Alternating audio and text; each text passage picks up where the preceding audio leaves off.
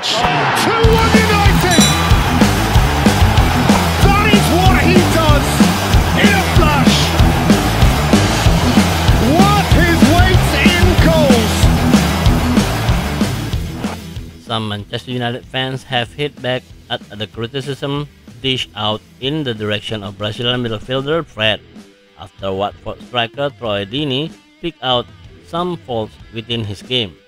The Hornet striker, who is yet to play for the Vicarage Road club this season following their relegation from the Premier League last season, made some harsh criticism of the former Shakhtar Donetsk man following United's impressive 2-1 win over Paris Saint-Germain at the Parc des Princes in the Champions League on Tuesday evening.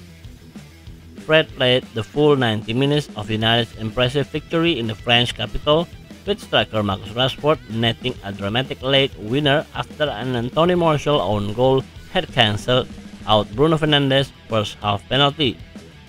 Deeney took aim at the United star on TalkSport with some crass criticism of the Brazilian international.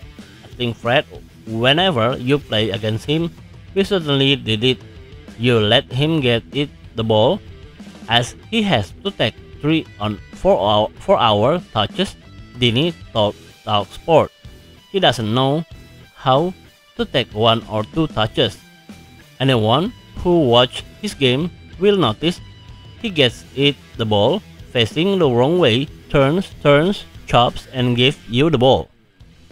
It is the truth. If anyone studies football, you will know that. When they are set in the end, they are waiting. You know that there is one of person is the trigger, and it is him. Deeney's criticism of the 27 years old who made the switch to Trafford back in June 2018 have certainly not been well received by United supporters, with no shortage of them hitting back at Deeney's comments.